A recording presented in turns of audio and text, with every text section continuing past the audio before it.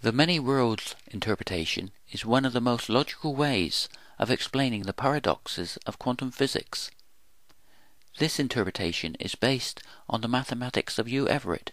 In his equations, each parallel world branches off at right angles to each other. In some ways, this is similar to the branches of a tree. Therefore, we have an infinite number of parallel worlds or universes to our own universe but forever cut off from it. This forms its own paradox. Where are the parallel universes of the many worlds interpretation? The theory explained in the rest of this video overcomes this paradox by explaining a process of continuous energy exchange. The many worlds or parallel universes are just potential future possibilities within our one three-dimensional universe of continuous change continuous creation. The right angles in the mathematics of Hugh Everett represents the magnetic fields always being at right angles to the electric fields, forming electrical potential within each reference frame. Our universe is made up of an infinite number of reference frames, with the electrical potential of each reference frame relative to the energy or actions of the object forming the future potential. This can all be based on just one equation. Energy equals mass times the speed of light squared is the most famous equation in physics. But could this equation give us an objective understanding of the universe? All we have to do is place the Lorentz contraction of space and time between the energy and mass.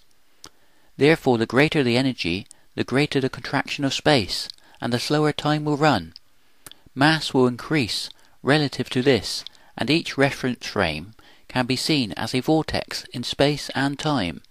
The C2 in the equation represents light radiating out in all directions at a constant speed, forming a sphere of electromagnetic radiation from its radius, forming a square of probability. This is the same probability we have with any future event, because the process forms the flow of time itself, photon by photon. The brackets represent the boundary condition of the reference frame, formed by the energy, and the infinity symbol represents an infinite number of reference frames that make up our universe. In this way, we link the time dilation of Einstein's theories on relativity with a deeper understanding of quantum mechanics to give us an objective understanding of our universe that fits in with the reality of our everyday life. The theory explained in the rest of this video is based on just two simple postulates. The first is that the quantum wave particle function, or probability function, of quantum mechanics represents the forward passage of time itself, photon by photon. And the second is that Heisenberg's uncertainty principle that is formed by the probability function is the same uncertainty we have with any future event within our own reference frame. This process of continuous creation or change we see and feel as the flow of time itself, and we can interact with it, turning the possible into the actual.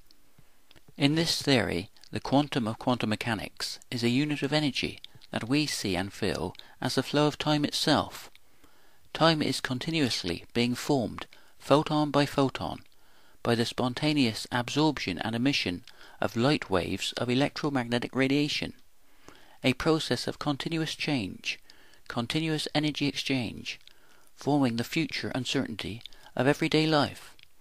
This uncertainty can be seen mathematically as Heisenberg's uncertainty principle of quantum physics.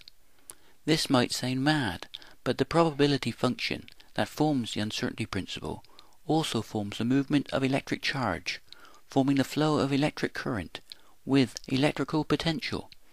In this theory, electrical potential and the individual's future potential are the same within their own reference frame.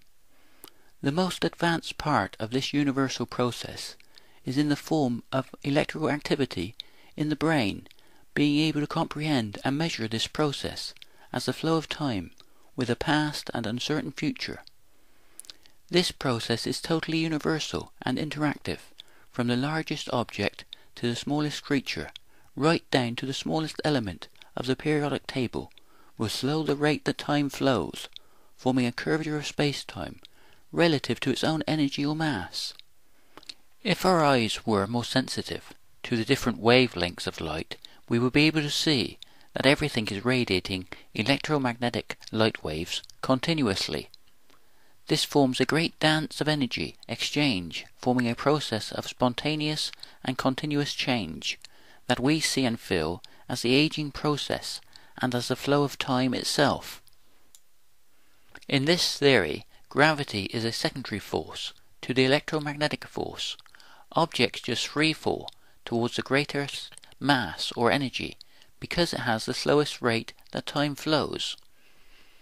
The second law of thermodynamics falls out of this theory, the organization for the spontaneous disorganization of entropy is formed by the spherical symmetry of the quantum wave particle function.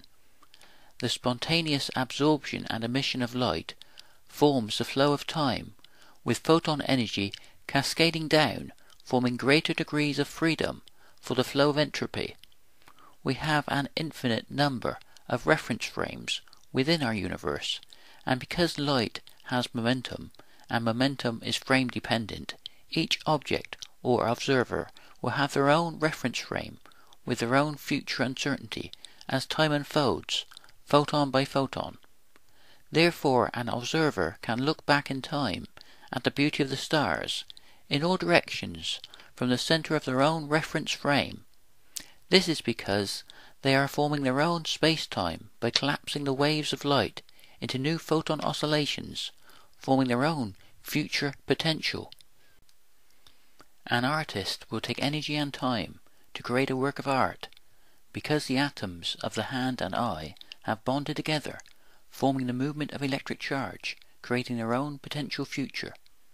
Creation is truly in the hand and eye of the beholder in this theory. This video will put forward the idea that only an infinity of possibilities could form the diversity and complexity of life. This theory is based on the mathematics and physics of some of the greatest minds the world has ever seen.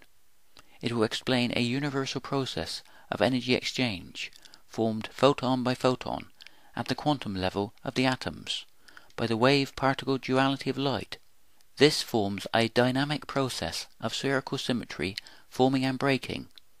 This spherical geometry can be seen as 4 pi in the equations of quantum mechanics. When this symmetry is broken, it forms spiral symmetry, forming the Fibonacci ratio that we see almost everywhere in nature. This is not because of economy of growth, but because it represents a universal dynamic geometry. In this theory, the Planck constant is a constant of action and is continuously coming into existence, photon by photon, or moment by moment. This is part of a continuous process of change or creation. Therefore, we have a true infinity that can continuously be halved or divided over a period of time. A mathematician will be able to divide any number into infinitely smaller parts because of this process.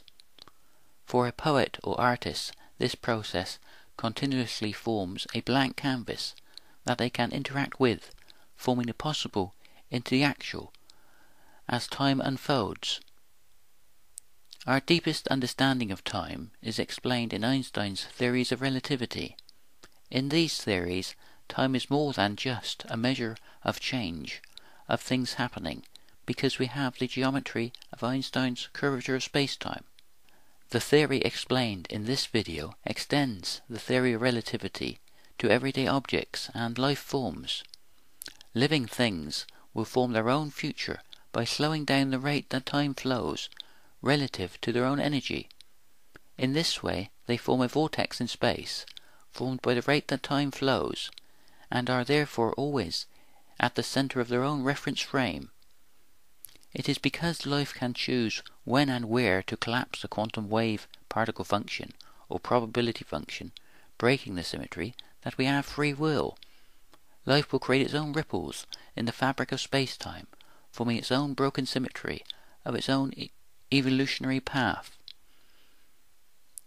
This forms an infinity of possibilities within the evolutionary process for each life form. In this theory, all life has a common geometry, formed by the geometry of spacetime. This forms a mathematical base for Charles Darwin's theory of evolution by natural selection. Therefore, the diversity of life is not based just on the survival of the fittest, but on a self created beauty for its own sake. The uniqueness of every life form, of every sunset, of every moment, can only be created out of a potential infinity of possibilities. Because it is an infinity, everything is unique, and our whole universe is only relative to each individual object or observer. We have a universal dynamically forming geometry, forming symmetry from simple dynamics. The forward momentum of electromagnetic radiation will place like charged particles that repel, becoming equally displaced along the curvature of their own created space-time.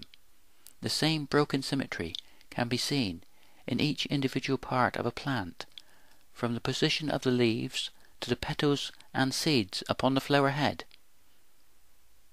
Each new cell growth will have its own unique angle forming the curvature of space-time. Therefore we see the same patterns in plant life as we do in deep space, formed by the same universal geometry. It is this dynamic universal geometry that human mathematics is based upon. In this theory, fractals are formed by the repetition of the wave function, continuously collapsing and reforming, a kind of geometrical and mathematical repetition. This has gauge symmetry, and we can re-gauge each new photon at zero, representing a new moment in time, the moment of now, with the positive numbers marching off towards an infinite future, their negative numbers receding towards a limitless past, the positive and negative of electromagnetic waves. This gives us a deeper understanding of time and a reason why we have a future and a past.